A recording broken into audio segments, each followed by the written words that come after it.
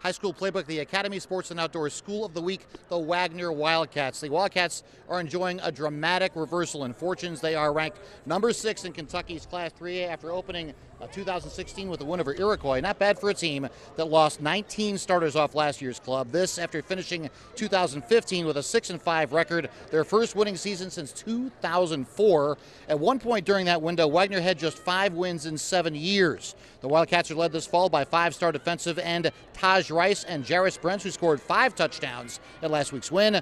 The architect of this turnaround, second-year head coach Jordan Johnson. Waggener, the Academy Sports and Outdoors School of the Week on WLKY.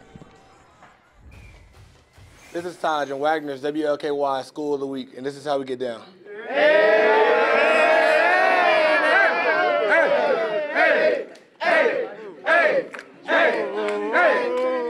To be a group of kids that had never won and never been successful, like they never gave up at any time. And even on good teams, you know, we, we would get a get down a score or two, they would just quit. Um, and these kids never did. And we had a couple come behind wins and um, just really showed their character and what they are.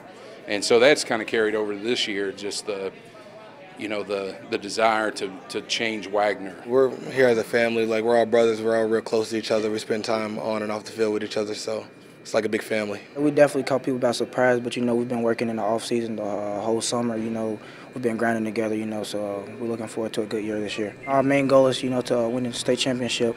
So um, we're gonna keep working until we get there. For starting 2016 with the win after having its first winning season in 2015 since 2004, Waggener High School football, WLKY's High School Playbook School of the Week.